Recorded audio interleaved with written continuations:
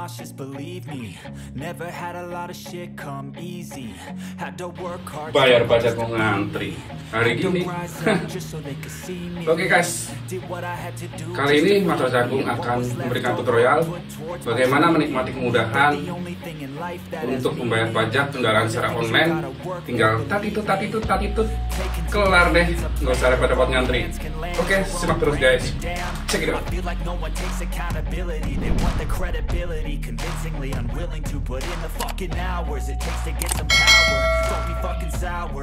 Nah, di sini gue akan memakai aplikasi yang bisa kita dapatkan di Play Store. Nama aplikasinya adalah Sambara atau Samsat Mobile Jawa Barat ya guys. Oke, mari kita buka aplikasinya guys.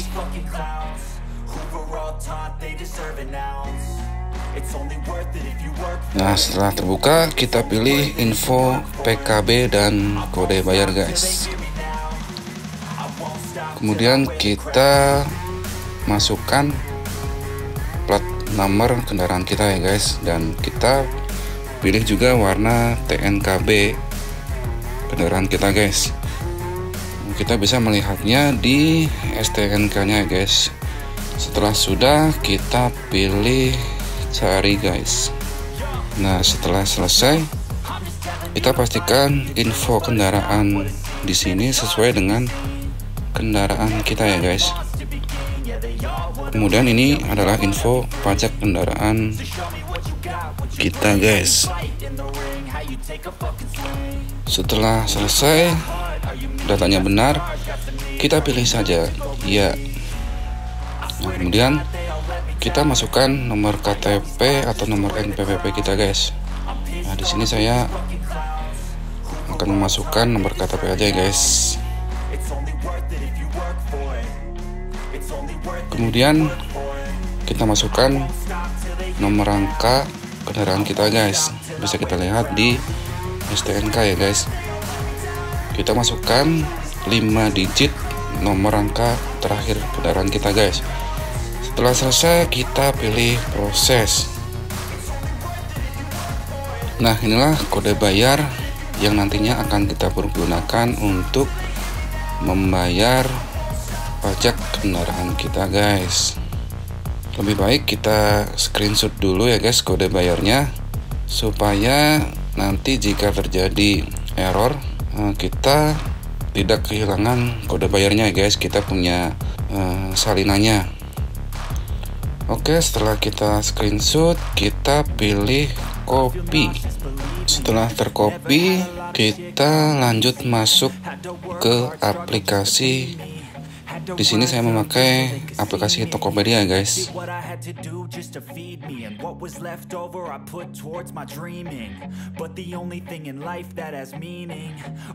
Setelah masuk kita pilih uh, lihat semua guys. Kemudian kita pilih pajak. Nah di sini ada eh samsat ya guys. Kita pilih. Di sini kita akan memilih pilih wilayah. Karena gue berada di wilayah Jabar jadi gue pilih Samsat Jabar ya guys. Kemudian kita tempel nomor kode bayar yang kita dapat dari aplikasi Sambara tadi guys. Kemudian kita pilih cek tagihan guys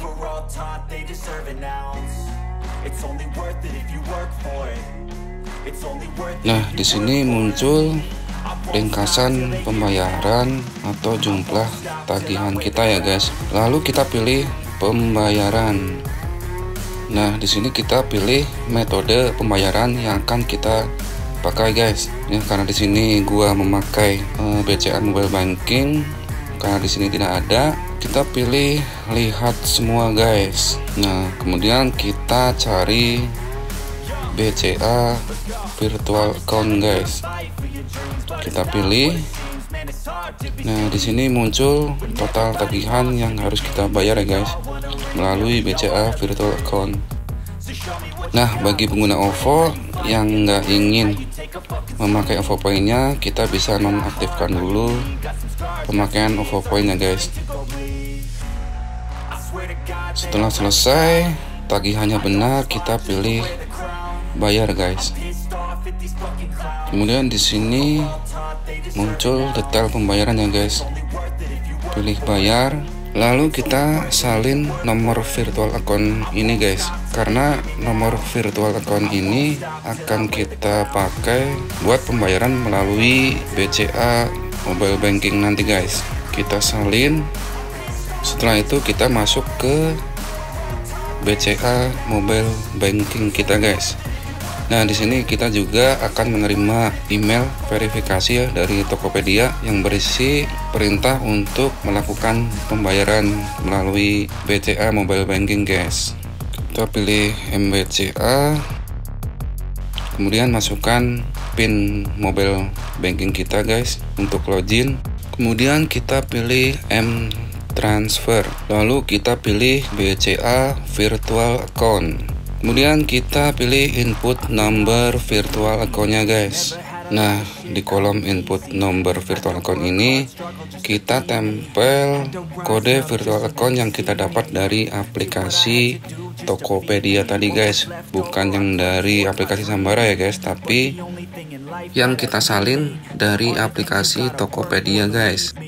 Setelah tertempel pastikan benar kemudian kita pilih OK lalu kita pilih send guys. Kemudian akan muncul verifikasi pembayaran kita guys. Verifikasi transaksi kita ya guys. Setelah kita pastikan benar kita pilih OK guys. Kemudian kita masukkan pin MBCA kita ya guys.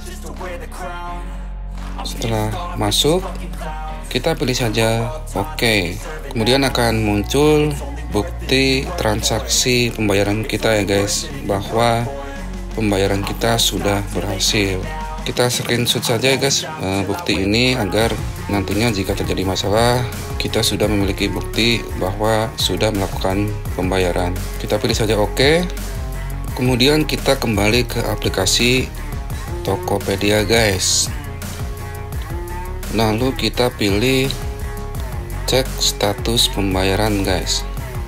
Kita pilih pembayaran terakhir ya guys. Eh Samsat. Jabar kita pilih guys. Nah di sini muncul informasi bahwa transaksi kita berhasil ya guys. Nah inilah yang nantinya akan menjadi bukti untuk menukarkan STNK yang asli di outlet Samsatnya ya guys. Jadi kita screenshot bukti ini yang dari aplikasi Tokopedia lalu kita print out ya guys.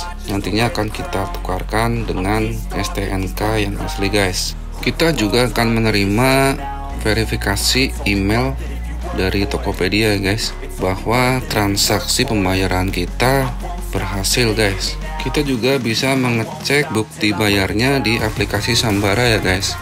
Kita kembali ke aplikasi Sambara kemudian kita pilih bukti bayar nah di sini ada e SKKP ya guys. Atau STNK digital ya guys. Jadi yang nantinya akan kita pergunakan untuk menukarkan STNK yang asli adalah pertama bukti bayar yang kita dapat dari aplikasi Tokopedia guys. Jadi kita screenshot kemudian kita print out guys. Kedua adalah KTP asli dan fotokopinya ya guys. Kemudian yang ketiga adalah STNK asli yang lama dan fotokopinya guys. Oke guys Memang sih untuk penukaran dibayar dengan STNK asli harus ke outlet Samsat ya guys. Cuman bedanya kita nggak perlu mengantri guys. Kita bisa langsung menuju ke loket pembayaran untuk menukarkan bukti bayar tersebut guys. Jadi sih menurut Master Jagung lebih cepat guys. Dan kita juga mempunyai tenggang waktu untuk menukarkan bukti bayar tersebut guys. Jadi pasti lebih santai lah. Oke guys, terima kasih tetap dukung terus channel Master Jagung ya guys. 真的